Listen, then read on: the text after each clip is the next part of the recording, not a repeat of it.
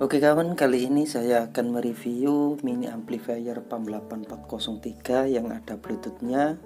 Juga sudah ada potensionya jadi kita tidak usah menambah potensio untuk volume. Dan juga tidak usah menambah bluetooth karena sudah ada bluetoothnya. Jadi lebih praktis. Oke seperti biasanya sebelum kita lanjut yang tulisan subscribe-nya masih warna merah. Dan juga yang baru gabung di channel saya silakan klik tombol subscribe di bawah video ini.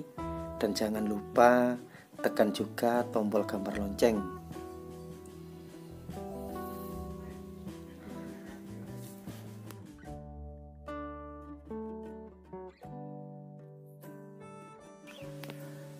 Untuk fungsi potensionya ini beda dengan potensio yang ada di PAM 8403 sebelumnya.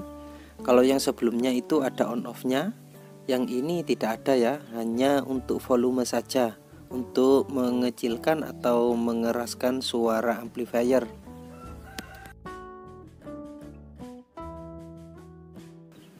Pada modul amplifier ini terdapat dua IC yaitu IC Bluetooth dan juga IC amplifier PAM 8403 untuk fungsi kedua tombol ini, ini adalah untuk memutar lagu berikutnya atau sebelumnya sesuai urutan pada handphone. Jadi meskipun amplifier ini terhubung lewat Bluetooth, jadi kita tidak usah membuka handphone untuk memindah lagu cukup dengan menekan kedua tombol ini jadi lebih praktis. Untuk fungsi soket output yang kiri ini R buat speaker satu yang tengah merah ini dari baterai input tegangan dan yang kanan ini soket L untuk speaker satunya lagi. Karena modul PAM 8403 ini dipasang dengan Bluetooth jadi saya sarankan supaya maksimal silakan pakai dua baterai yang diparalel supaya ampernya lebih besar. Dalam satu paket ini sudah komplit sudah ada knopnya knop potensio.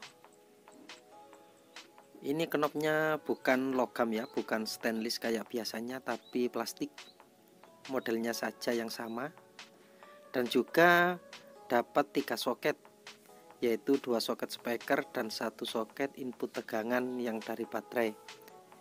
Jadi lebih simpel kita tidak usah e, menyolder pada papan PCB nya kita cukup sambung kabel dari soket ke kabel speaker. Yang bagus lagi adalah PAM 8403 ini sudah dilengkapi dengan elko sebesar 10 volt 1000 mikrofarad. Dengan keluarnya modul PAM 8403 ini berarti yang selama ini kita lakukan pada modul PAM 8403 versi sebelumnya dengan menambahkan elko itu berarti sudah benar ya karena memang PAM 8403 membutuhkan sebuah elko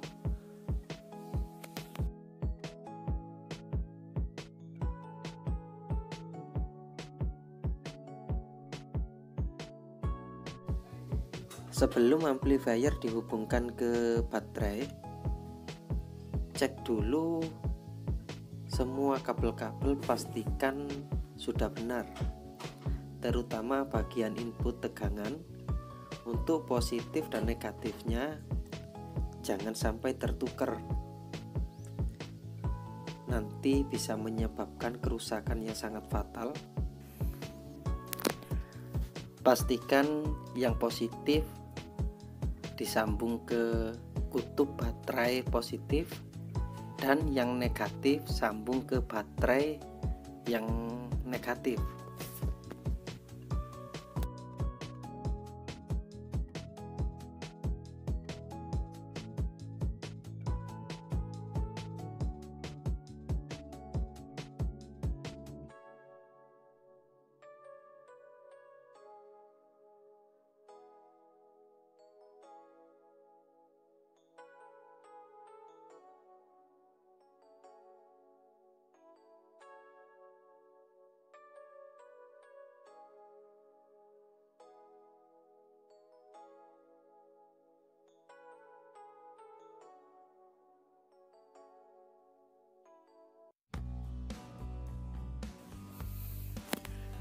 kabel speakernya saya sambung langsung saja ke PCB biar lebih cepat.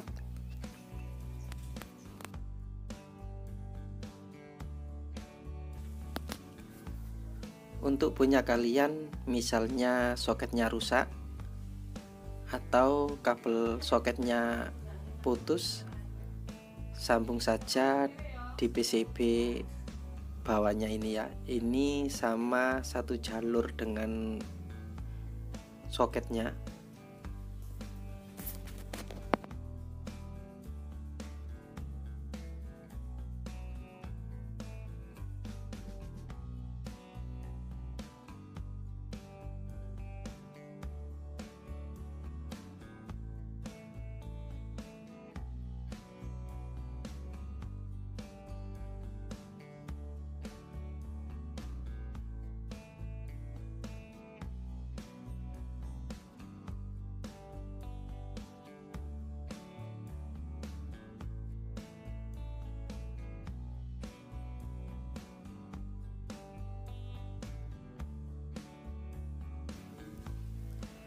karena modul ini tidak disertai dengan saklar atau tombol on off jadi kita perlu menambahkannya sendiri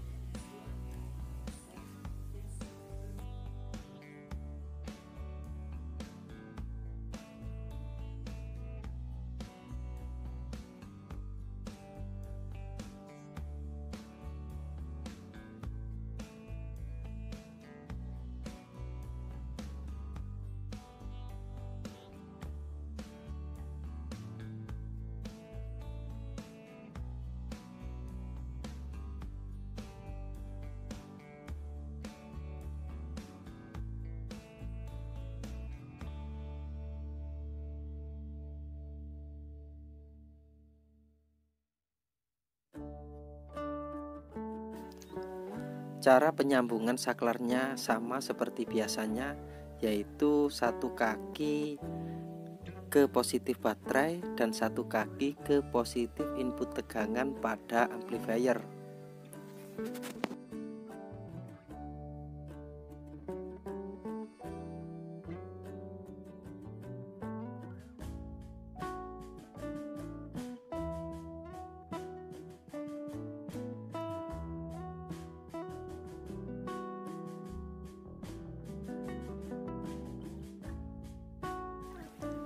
Oke langsung saja kita tes kita kecilin dulu potensionya kemudian kita onkan saklarnya dan kita hubungkan ke handphone